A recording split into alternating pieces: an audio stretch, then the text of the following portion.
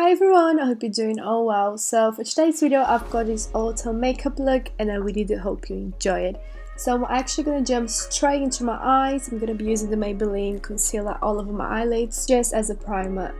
I'm actually so excited for autumn now. I don't really know why, but I'm so excited for such getting cold and all cozy. So that's why for today's look, I'm going to be doing a bit of like a dark eye. It's a bit darker than I usually do and I'm gonna be doing a red lip which if you guys know me I use lip glosses all the time. Anyways so I'm using the Marc Jacobs palette that I just showed you guys and can I just say I'm so so so impressed with the eyeshadows in this palette. They're so pigmented and they blend so so so well so that's a plus. And now I'm just blending in my transition shade into my crease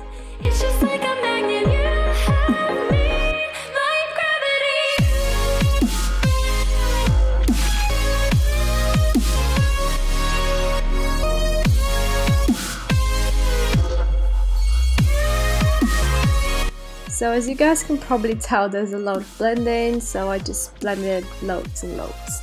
But now next up I'm gonna be taking the same concealer that I used previously and I'm gonna be putting this on my eyelids and I love doing this because I feel like it makes the eyeshadow even more intense on top.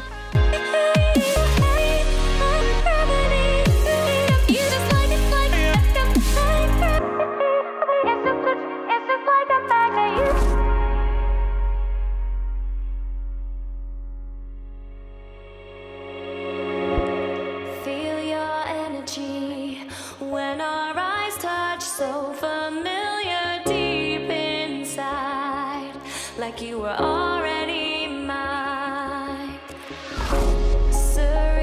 For my eyelid color, I'm going to be using this cream shade and I'm just going to place this on top of my concealer. And I just love this effect of like a dark crease and a really, really, really light matte, no shimmery eyelid. So I'm mainly focusing on pressing the eyeshadow instead of blending in. So I press and then I kind of like blend in a little bit. And obviously I'm going to come back with my brush and blend the eyeshadow on the crease.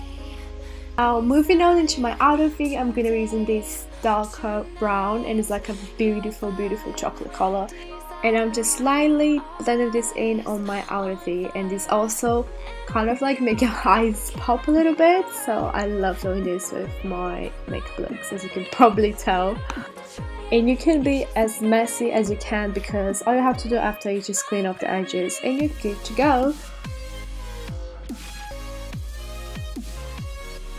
So here I'm just to clear out the edges because as I said it doesn't matter if you're messy or not all you have to do is just come back with a cotton pad and it works like magic. Next up I'm to be using a liquid eyeliner and I'm just to be drawing really really thin line as close as I can to my lash line and this is just to give an illusion that you've got longer and fuller lashes.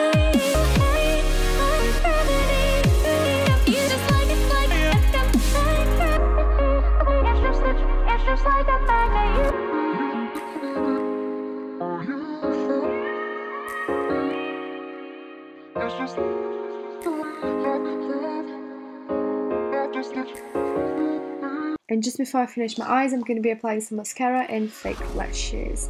Now moving on to my face, I'm going to be using this products, which is kind of like a highlighter slash primer because you guys know me, I can't just apply foundation straight into my face. I love having like a shimmery cream or something before my foundation because it just makes my skin look so so glowy and healthy.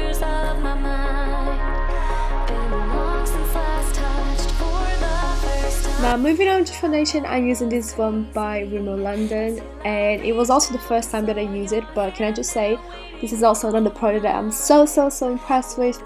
I absolutely love this applicator and it's also similar to the one by Clinique. So Clinique's got foundation that's got kind of like a similar applicator but I actually think that this one is better than the Clinique one because it gives you out so much product and this foundation is medium coverage and I just feel like it doesn't feel like you've got foundation on your face if that makes sense wow and in general I'm just obsessed with it also can't forget to blend in on my neck because even though on camera it looks like this is the perfect match for my skin it was actually a little bit darker in real life. I am back with the Maybelline concealer now and I'm just going to be applying this under my eyes, on my nose and on my chin. And I also forgot how obsessed I am with this concealer so I'm so happy that I found this. It was just like at the bottom of my drawer and I just rescued it again so I'm pretty sure I'm going to be using this loads now and I love it because it highlights and it really covers at the same time. So I'm just gonna blend it in with this little sponge which is actually from Primark but it's literally amazing.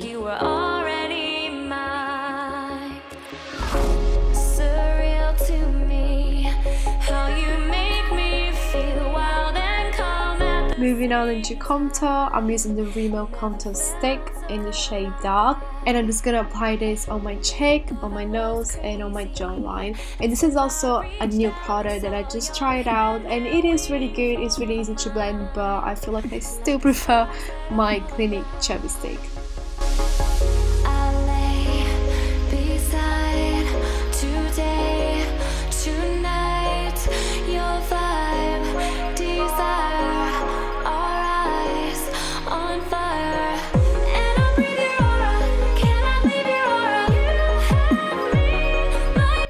Onto bronzer, I'm gonna be using the Stila bronzer on my cheeks, my jawline, and a little bit on my forehead.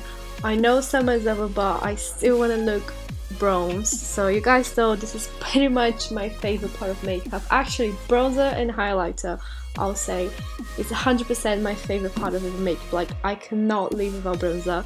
I couldn't live without foundation, without eyeshadow, but bronzer and highlights are like definitely my must have on a makeup look. And speaking of highlighter, I'm using the Soft and Gentle by MAC, which I absolutely love.